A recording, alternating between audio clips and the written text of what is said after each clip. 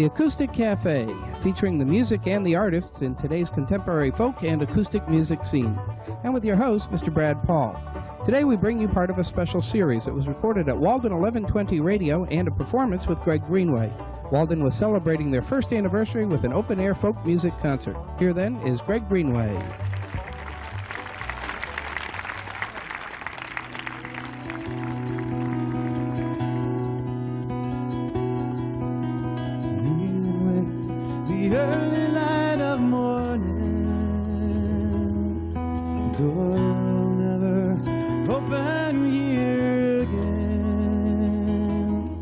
It's only fair.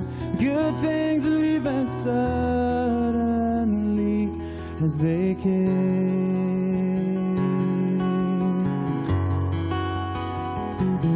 In the city streets, the silence ringing like mission bells.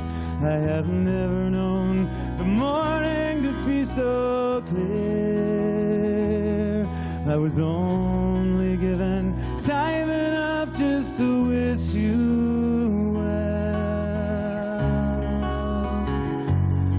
disappear. Oh, I'm not saying there's no happiness in moving, but these bits and pieces I have left behind are keeping me stretched out over a thousand miles at a time. I've never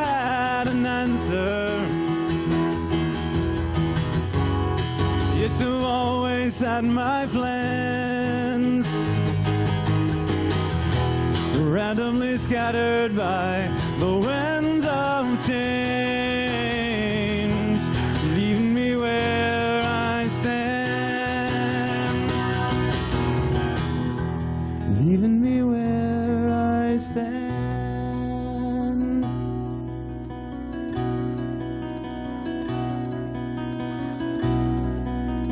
guess that's approval, huh?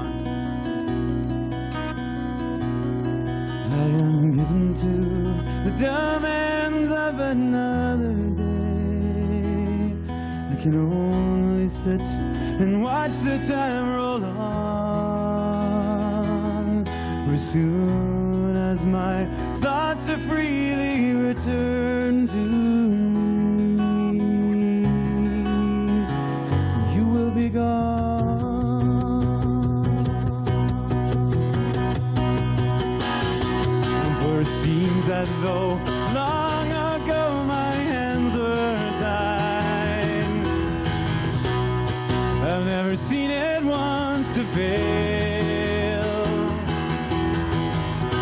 No sooner we met than I could feel the winds pull at my sails. I've never had an answer. Yes, I've always had my plans randomly scattered by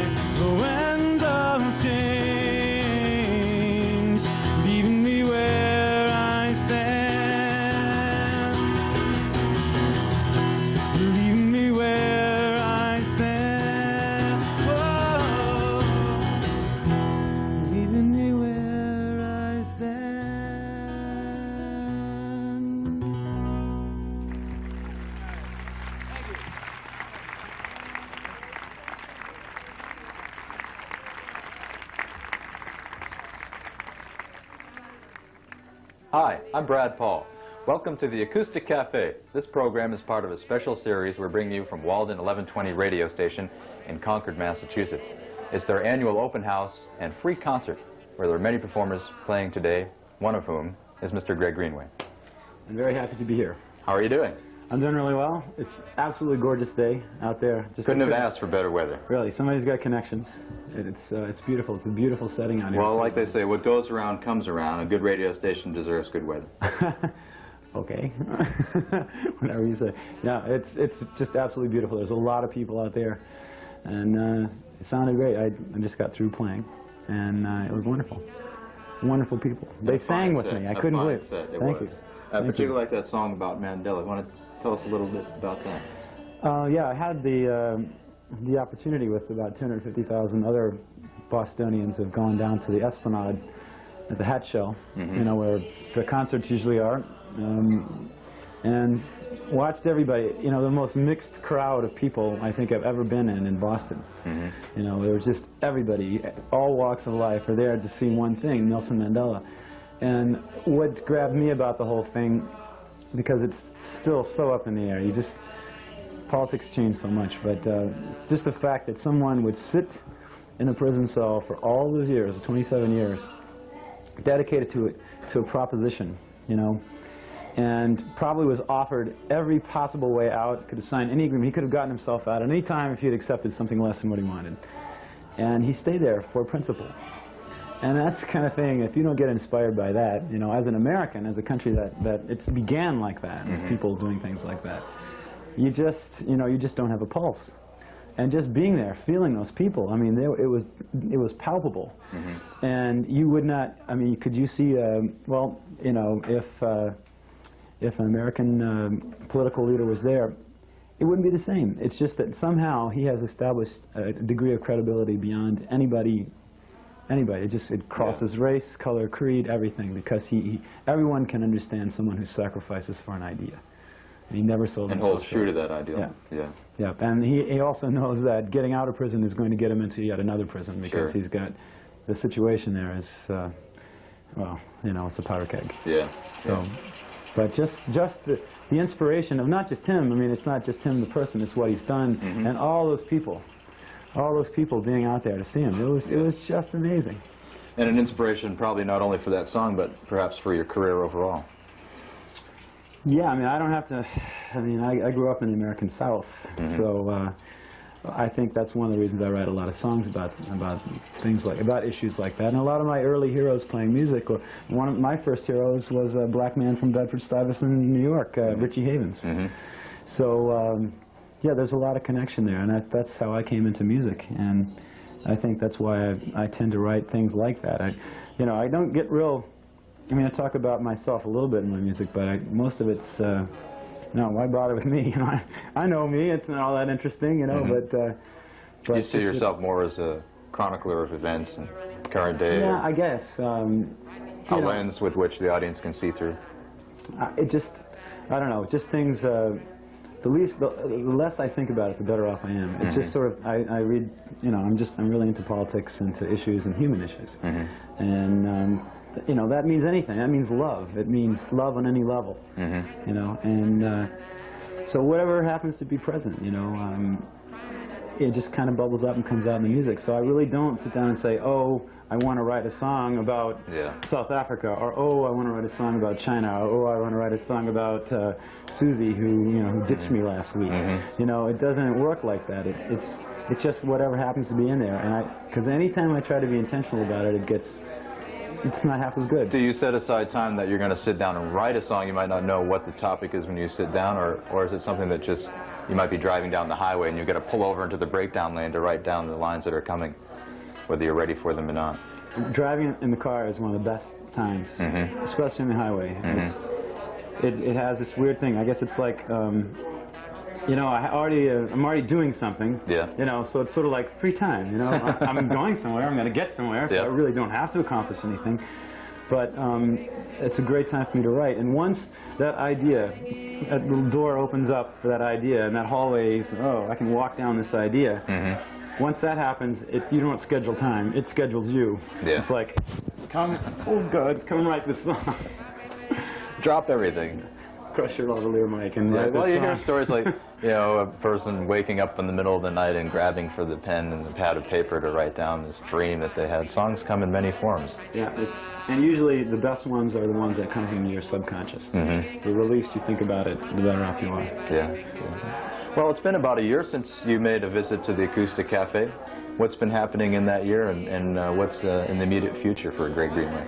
Well, um, a lot of things have geared up for me. Um, I've been working with uh, some people who have really helped me, you know, start back into the scene, especially in the New England scene. I, just got through playing Passim in Boston, had a really, really good crowd.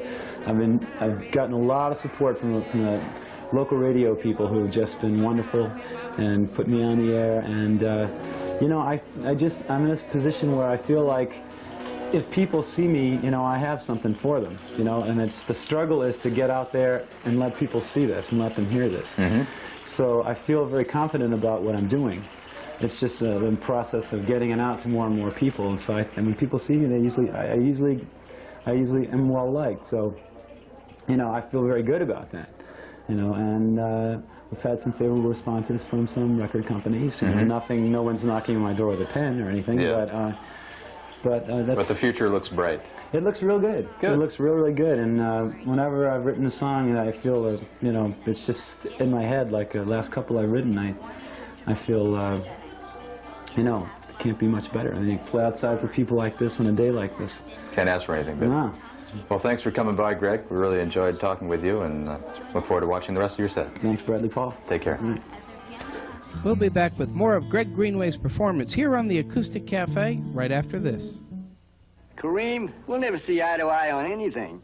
Don't be so short-sighted. We can both see that space research benefits everyone. I like the scratch-proof lens developed for the Apollo space camera, That same technology led to scratch-proof eyeglasses, sunglasses. and even goggles. You wouldn't need those if your horse was always in front. That's a tall order. What we're learning up there, Is helping us all down here. space technology. This is what's in it for you.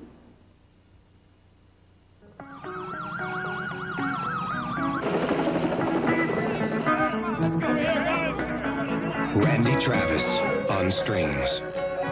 Branford Marsalis on the horn. Paul Shaffer on keys. Carly Simon on lead. There are a lot of different parts to play in the American Red Cross. Play your part. I was going to take a job with an engineering firm in New York. I got a better offer. I'm building schools overseas with the Peace Corps. The pace is a little slower than New York, but here I'm getting grassroots experience I couldn't get anywhere else. The way I look at it, the world can wait two years for another 40-story smoked glass high-rise. Peace Corps, the toughest job you'll ever love. This name has been a part of the Boston music scene for a long time. So let's please welcome to our Walden Open House, Mr. Greg Greenway.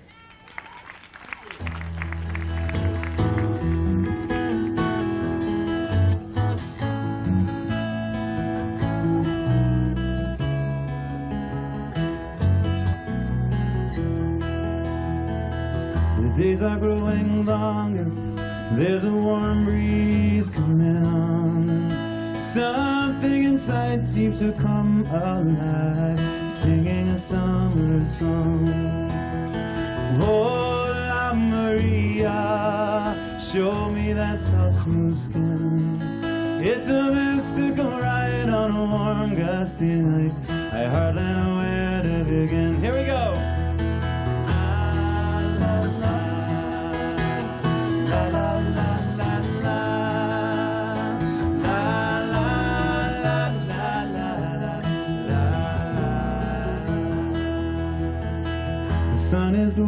Stronger.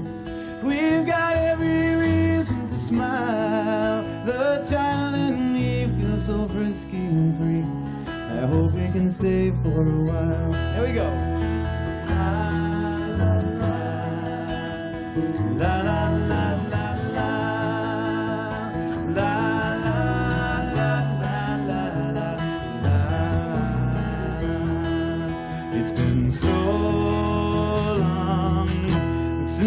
Seen a day like today. It's been so long to throw these clothes so far away.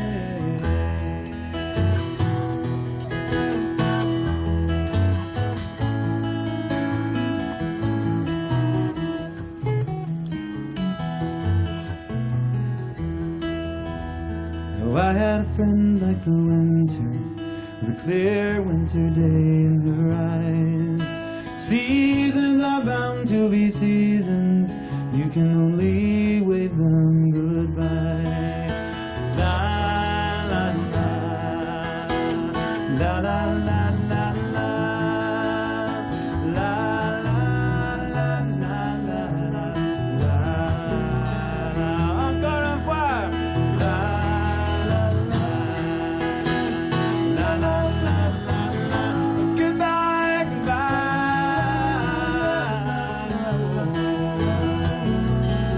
Acapulco. La la la la la la la la. Goodbye,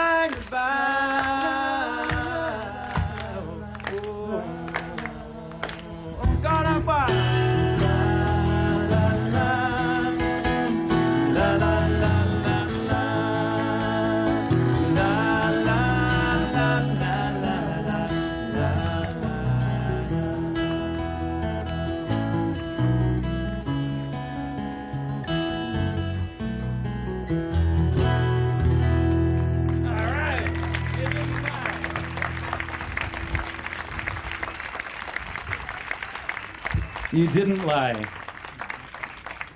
We like an audience we can trust. All right, ladies and gentlemen, being so early in the show like this, you know, it's our duty to warm you up, but we also feel a certain moral obligation. See, Doug here is from New York City, and I'm originally from Richmond, Virginia, and there's one person clapping for New York, Doug. It's getting worse. I'm originally from Richmond, Virginia, and, well, it's. Wow, how about that? That's even worse. There are a lot of people clapping for Virginia. Somehow the universe is upside down. Now, it took a couple of mongrels like us to compose what we feel is a morally important song about the state of Massachusetts.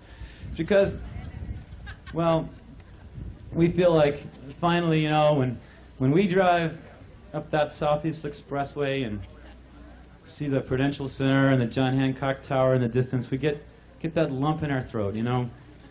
We're coming home to Boston. And we feel like it's our home now, so we composed this, what we feel is the new Massachusetts state song.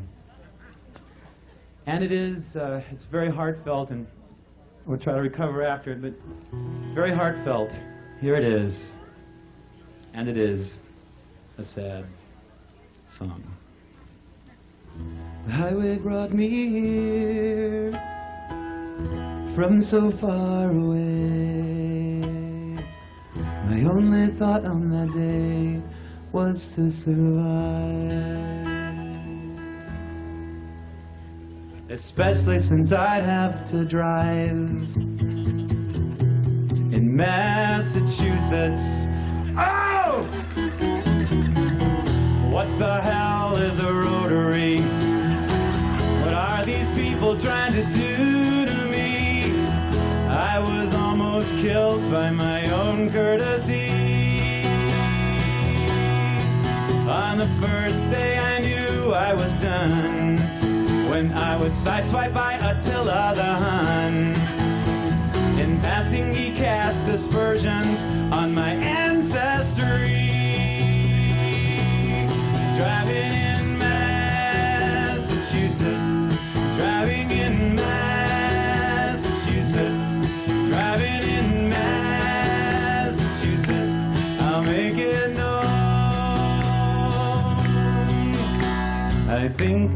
Rather stay at home in Massachusetts. Oh! Every morning until 9:30. It's an urban demolition derby. The winner lives to try again that night. Oh, and just to make it more of a sport, they leave potholes the size of foreign imports. They take down the signs, just ignore the traffic lights. Driving in Massachusetts, driving in Massachusetts, driving in Massachusetts. I'll make it known. I think I'd rather stay at home in Massachusetts. Here's the Springsteen part. Look, every taxi driver I've seen puts me to mind of Charles Manson on Halloween. Twelve hours in traffic, what a way to go. If you can find a place to park in the snow, if your car hasn't been stolen or towed, you're gonna love that halfway house of the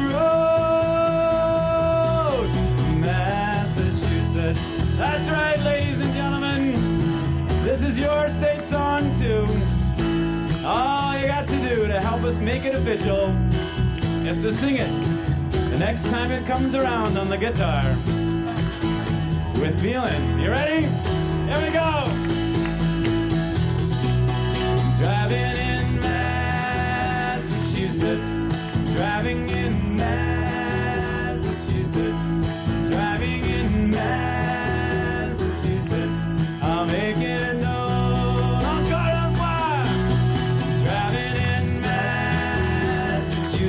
I can't remember Massachusetts. Undented fender. Massachusetts. I'll make it known. I think I'd rather stay at home in Massachusetts.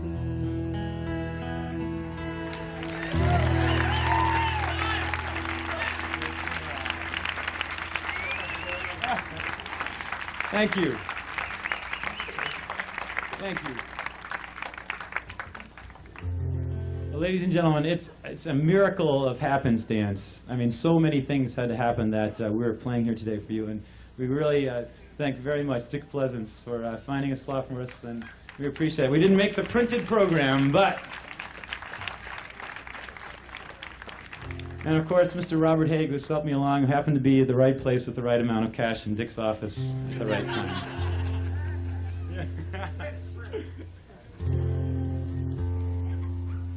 Um, so we'd like to uh, leave you with a song that uh, I wish uh, I wish I could have played down in the Hatch Shell a while ago. That's where it started. There's 250,000 people.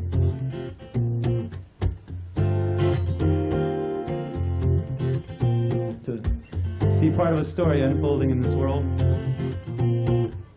To see somebody who's, no matter who you are, it's got to be an inspiration.